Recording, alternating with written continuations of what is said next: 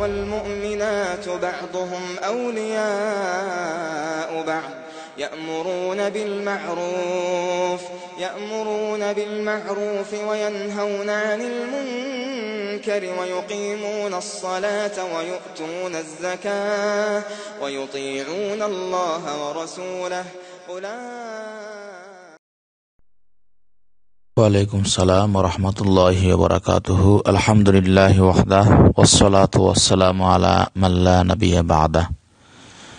এক সম্মানিত ভাইয়ের প্রশ্ন, যে শয়তানের ওয়াসা থেকে বাঁচার উপায় কি? শয়তানের ওয়াসা থেকে বাঁচার উপায় কি? জি সম্মানিত ভাই, শয়তানের ওয়াসা থেকে বাঁচার উপায় কয়েকটি। যেমন ধরুন কেউ যদি কারোর অন্তরে শয়তান অশাসা দিচ্ছে, যে বলছে যে তোমাকে তো আল্লাহ সৃষ্টি করেছে, তো আল্লাহকে কে সৃষ্টি করেছে? এই প্রশ্নের উত্তরে জবাব কি আছে? জি, প্রশ্নের উত্তরে আল্লাহ সুবাহ তালা এই অশাসা থেকে জবাব দিয়েছেন। এইভাবে রসুল্লাহ সাল্লাহ সাল্লাম এভাবে জবাব দিয়েছেন।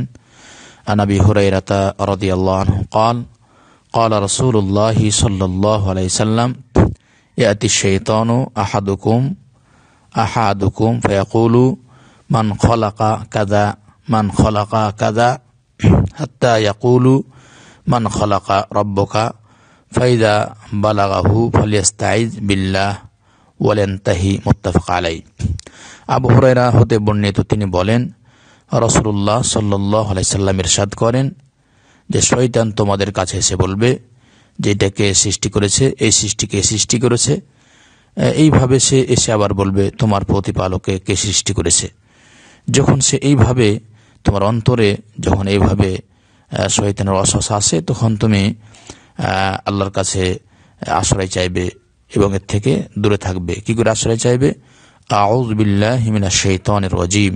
হে আল্লাহ বিতাড়িত শয়তান থেকে তোমার কাছে আশ্রয় যাচ্ছি। ইমাম বুখারি, মুসলিম, হাদিসটি নিয়ে ইমাম বুখারি, মুসলিম, হাদিসটি নিয়ে এসছেন বুখারি তিন হাজার দুইশত ছেষট্টি নম্বর হাদিস। ইমাম মুসলিম রহিমাল্লাহ হাদিসটি নিয়ে এসছেন সহিহা তে হাদিসটি এসেছে, একশত সতেরো নম্বর হাদিস। অন্য গ্রন্থে হাদিসটি এসেছে। জি, আরও উপায় রয়েছে যদি আপনার অন্তরে এইভাবে আবার কিছু প্রশ্ন আসে শহীদ দেয়। তাহলে আরও প্রশ্নের উত্তর আল্লাহ রসুল সাল্লাহ সাল্লাম শিখিয়ে দিয়েছেন। এ হাদিসটিও আবু হরাইরা থেকে বর্ণিত।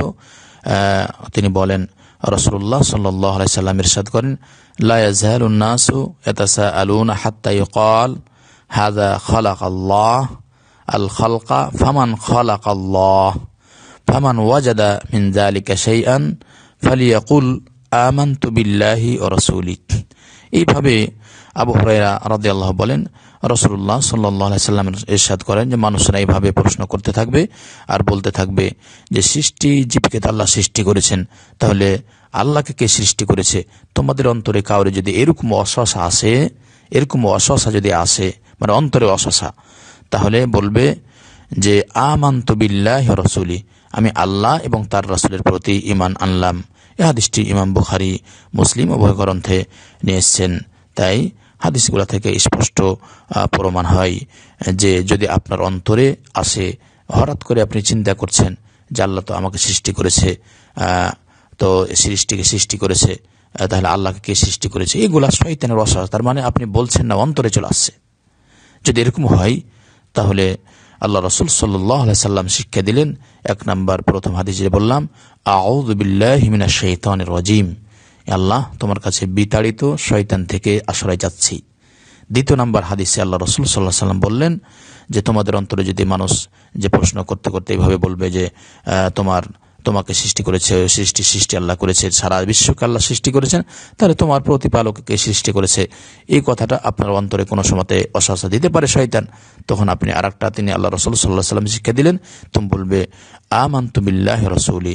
আমি আল্লাহ এবং তার রসুলের প্রতি ইমান আল্লাহ যখন আপনি এই কথাটা যখন আপনি বলবেন, ইনশাআল্লাহ আপনার অশাসা দূর হয়ে যাবে।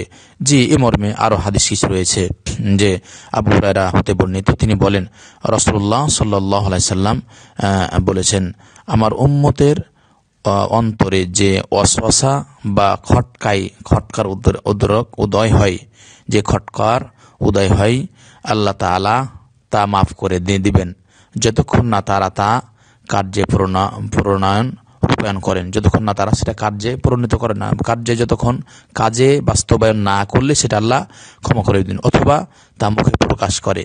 যে কোনো বিষয় যখন শৈতানের অশসা আপনার অন্তরে আসে কিন্তু আপনি অন্তরে সেটা রেখেছেন, কাজ আর করেন নাই ওই বিষয়কে আল্লাহ সুবহানা তালা মাফ করে দিবেন। তাই মানুষ যখন বলবে, আল্লাহ তো এটাকে সৃষ্টি করেছে ওটা সৃষ্টি করেছে, ওটা সৃষ্টি করেছে, তাহলে প্রতিপালকে কি সৃষ্টি করেছে? অন্তর যদি এটা আসে তাহলে যখন আউজবিল্লাহ পড়বে আউজবিল্লাহ শাহিতান রাজিম, আর একটা আদেশ যে বললাম আমন্তবিল্লাহ রসৌলি, তখন আল্লাহ সুহাতালা তার অন্তর থেকে এগুলো দূর করে দিবেন এবং তাকে মাফ করে দিবেন। এ হাদিসটাও ইমাম বুখারি, মুসলিম, উভয় গ্রন্থে এসেছে।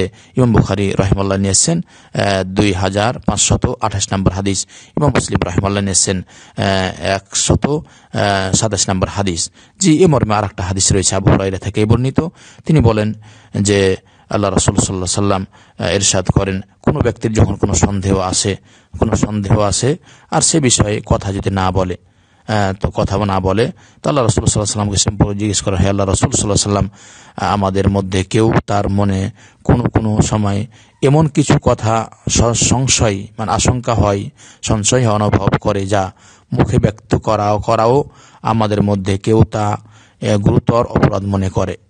তিনি জিজ্ঞেস করলেন তোমার কি তা এমন গুরুতর বলে মনে হয়? মনে করো সাহাবিগণ বললেন হ্যাঁ। তিনি বললেন, এটা হলো স্বচ্ছ ইমান ইমাম মুসলিম রহিমুল্লাহ হাদিস নিয়েছেন হাদিসটার মতো এই যে আপনার অন্তরে এমন কিছু এসেছে অশাসা যেটা খুব গুরুতর মনে হচ্ছে। তখন আপনি এই যে আগে হাদিসগুলা বলা হলো আহতুবিল্লাহ শৈতন রাজি বিসমুল্লাহ রাহিম। এরপর আমন্তবিল্লাহ রসুলি, এগুলো দূর হয়ে যাবে। তার মানে মানুষ মাত্র ভুল ত্রুটি হতে পারে। তাই অন্তরে যদি কিছু আসে, অন্তরে কিছু আসে, তাহলে সেগুলা দূর করার জন্য আল্লাহ রসুল সাল্লাহ সাল্লাম এগুলা শিক্ষা দিলেন। যেমনটি ইব্রাহিম আলহ সাল্লাম আল্লাহকে বলেছিল, আল্লাহ, তুমি যে জিনিসগুলা সৃষ্টি করো আমাকে দেখাও। যেমন জীবজন্তু যে সৃষ্টি করো, জীবজন্তুকে আমাকে দেখাও। যে এইভাবে কি করে? আল্লাহ তালা বললেন, ঠিক আছে, তোমার কি বিশ্বাস হয় না? আল্লাহ তালা বলছে হ্যাঁ বিশ্বাস হয়, বিশ্বাস আমার হয়। তবে আমার ইমানটা আরও দৃঢ়র জন্য ইমানটাকে আরও দৃঢ় করার জন্য ইমানটাকে আরও দৃঢ় করার জন্য। আল্লাহ সুহামতাল্লাহ তাকে সেটা দেখাইছিলেন। তারপরে দেখার পরে বললেন যে, আমার ইমানটা যাতে লিয়াতমা ইন্না কলবি লিয়াতমা ইন্না কলবি, তিনি বললেন, যে যাতে করে আমার অন্তর আরও প্রশান্তি লাভ করে, আমার আল্লাহর প্রতি আরও বেশি বিশ্বাস হয়, আরও বেশি আল্লাহর প্রতি ইমান বাড়ে। এই জন্যই আপনাকে জিজ্ঞেস করা। আল্লাহ সুবাহ তালা যিনি যা চেয়েছিলেন, আল্লাহ সুবাহ তালা সেটা দেখাই দিয়েছিলেন।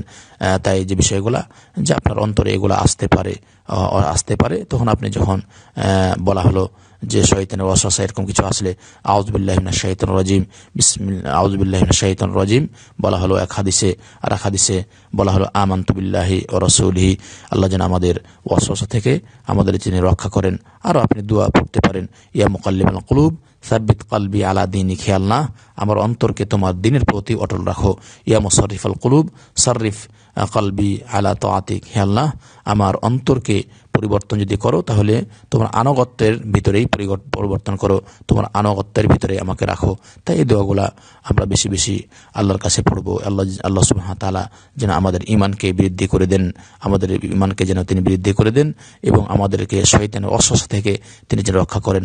আল্লাহ আলাম।